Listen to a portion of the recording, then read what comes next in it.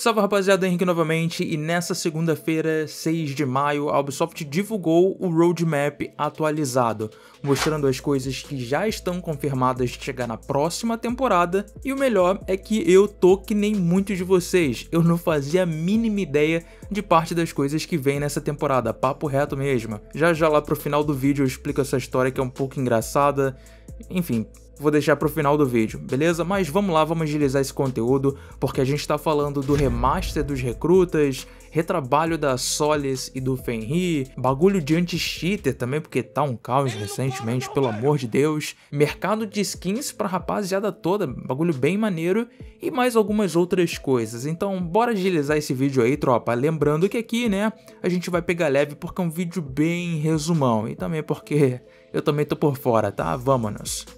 Primeiro a gente começa com a brincadeira mais polêmica, talvez, já que nesse ano você tem apenas dois operadores novos com dois remasters correndo por fora, sem os quatro operadores anuais. E nessa segunda temporada você tem esse remaster dos recrutas, que terão uma repaginada no visual, assim como a versão defensor e atacante do recruta. Eu vi no vídeo de um doidão lá na gringa, o Kudos, que esse da direita será o defensor e o da esquerda será o atacante, porque ambos estão no Seed Mobile. Então pode seguir esse padrão do Soft pode ter tirado daí, né? Pode ter tirado daí. Se mudar alguma coisa, a gente vai saber. Mas até agora eu não vi nada referente a armamento e gadgets secundários e, entre aspas, primários que esses recrutas terão. Eu não vi nada sobre isso. Uma vez também que a Ubisoft disse no pequeno painel que as mudanças serão visuais e no conceito do recruta como um todo. E claro, como está escrito, eles voltarão para a playlist ranqueada, algo que muitos, por algum motivo, querem há muito tempo, principalmente o Renan da Fábrica de Cobras, aquele maluco. Sobre armamento, é essa parada que eu falei, senhores, é... só que o Joshua Mills, isso aqui é uma parada maneira, que é aquele Leôncio lá da Ubisoft, gente fina pra caramba inclusive, tá? Ele disse que os recrutas vão trazer algo nunca visto antes no sítio, no sentido que irão somar bastante. Então, veremos, tá? Eu quero fazer um vídeo desses recrutas teorizando com vocês, então vamos ficar esperto aí no canal, beleza? Sobre recrutas é basicamente isso. Bora lá pro balanceamento, que eu vou abordar naturalmente o que eles confirmaram através desse post, tá bom, gente? Assim, Fenrir e Solis, essa dupla é a bola da vez, tá? A Solis, inclusive, tem uma segunda parte do seu retrabalho para a terceira temporada, mas a primeira vem exatamente nessa temporada, na segunda temporada. E o Fenrir, por sua vez, será uma atacada só, sem segunda parte para ele. O que esses operadores vão receber exatamente eu não sei, novamente estou sendo honesto com vocês, mas a Solis, por exemplo, se eu tivesse que chutar, eu colocaria o óbvio, né, para muita gente, eu colocaria o meu dinheiro na possibilidade dela não poder usar mais o seu sensor durante a fase de preparação, porque ela é chata pra caramba, ficar roubando drone, destruindo drone é muito chato. É aquela parada que eu expliquei para vocês. E sobre o Fenrir, quem sabe menos ativações e menos minas para ativar como um todo. Aqui eu tô chutando, tá? Também soa óbvio pro Fenrir essa questão, mas vocês podem comentar à vontade sobre esse tópico, tá bom, pessoal? A certeza é que Solis e Fenrir serão abordados na próxima temporada, certeza. Sobre proteção de jogador, nós que jogamos nos ranks mais altos no PC temos um interesse nesse tópico, tá bom, rapaziada? Na real, não só rank alto, como qualquer um, na verdade, jogando Rainbow Six hoje em dia. Porque, assim, sei pra quem sabe, né? Hoje em dia até prata tá exposto a esses cornos de cheater pra cima e pra baixo, né? Então. Mas eles comentam sobre melhorias de ban através do Steam, ou com alguma ajuda do Steam, eu não sei. O que é a fase inicial da implementação de uma nova ferramenta de segurança para melhorar a aplicação de ban no Steam ou através do Steam, alguma coisa nesses termos, só sei que o Steam estará envolvido. Olhando isso, logo vem em mente questão de VAC ban, tá? E essas coisas, muita gente comentando isso nas redes sociais recentemente, e eu só não vou contrariar ninguém ou opinar de forma incisiva para qualquer lado, porque primeiro, eu não entendo porra nenhuma de VACBAN e essas coisas do Steam, ok? Eu não sei nem se tem motivo suficiente para achar que tem a ver com parada de VACBAN, mas de qualquer forma, quem manja dessas paradas, galera que joga CS aí quiser comentar como funciona, fiquem à vontade, tá? Usem a barra de comentários ao seu favor, manda letra. Eu só sei mesmo que VACBAN implica uma pá de outra coisa na conta do malandro, do Steam, né, no caso, enfim. Eu só tô abrindo espaço aí pra galera que manja mais comentar antes de eu cometer uma gafe, né? E aquela coisa, aquela velha regra, se eu não sei de alguma coisa, eu não falo nada, eu calo a minha boca. Inclusive, pessoal, é uma dica de ouro, tá? Principalmente para você que é mais jovem, tem os nervos à flor da pele, quer sair falando sobre tudo que dá na telha. Meu irmão, calma, dica de cria para você. Quando você não sabe de alguma coisa, amiguinha, boquinha fechada, coisa linda, tá bom? Depois de anos, quando eu finalmente aprendi isso, cara, quando eu era da idade de boa parte de vocês, nossa, assim, eu posso dizer que minha vida melhorou muito, tá? E sim, eu posso soar como tiozão, mas eu tenho só 27 aninhos, tá? Quase 28 daqui a um mês, tá bom? Agora, rapaziada, uma parada maneirinha, e essa é a confirmação do lançamento total do Marketplace na próxima temporada.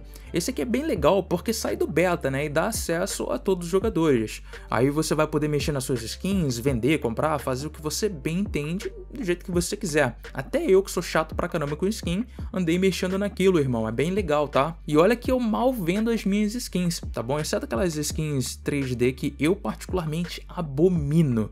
Claro, essa aqui é gosto pessoal, né, tropa? Eu sei que tem muita gente que gosta, show de bola mas aquilo ali é horrível. Uma parada que muita gente queria muito tempo também é o filtro de mapas, mas calma, torcedor, calma, isso aqui vai ser apenas para playlist padrão tá bom?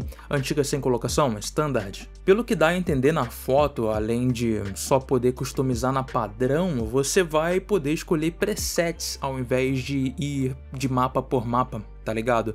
Então, pelo que dá para tirar dali, você vai poder escolher se vai querer jogar na padrão os mapas que também estão na rotação da casual, ou partida rápida nesse caso, possivelmente apenas os mapas da ranqueada e até competitivo também, já que são três presets.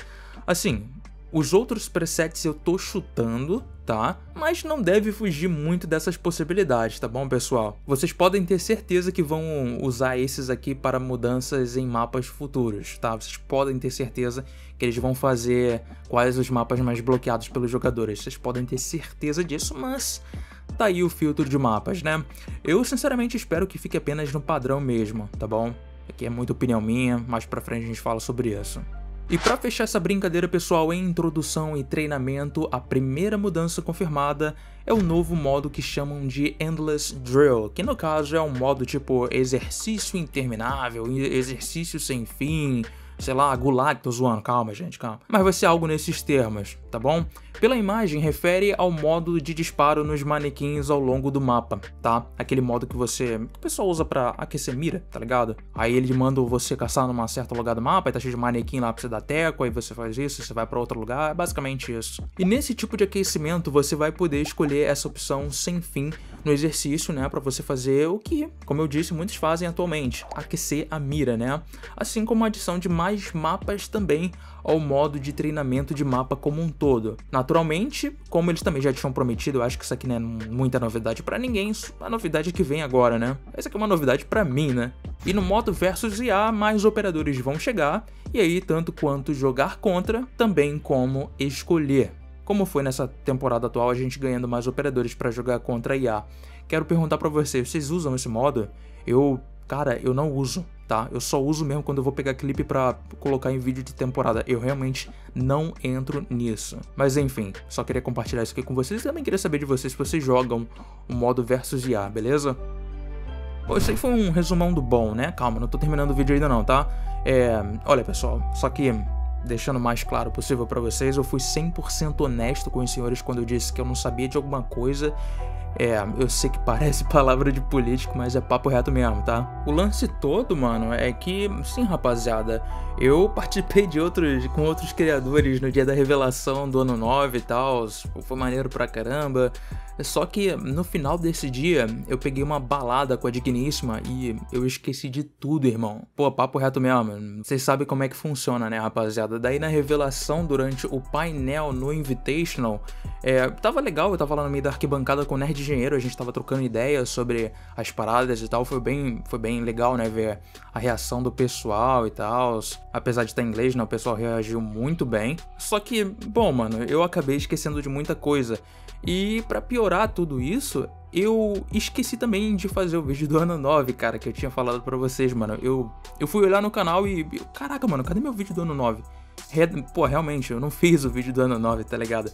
Então, é, guys, tô que nem vocês agora, olha que legal. Tamo aqui na mesma, na mesma prateleira, né, mano? Então, é isso aí, tá bom, rapaziada? Vocês comentem sobre o que vocês puderam tirar desse vídeo. Claro que não tá da melhor forma possível, nem da mais informativa, no entanto, é feito com coração, né? É, comentem o que, que vocês acham, o que, que vocês já sabem. Vocês podem contar pra mim o que, que vocês já sabem, é claro. Se for vazamento, eu vou dar um banho em você. No mais, fiquem com Deus e comentem, comentem, tá bom? Eu vou adorar saber o que vocês têm em mente. Enfim, rapaziada, fiquem com Deus, muito obrigado obrigado pela sua audiência, desejo tudo de bom para vocês. Quanto mais manequins ao longo do mapa possível. Adiós.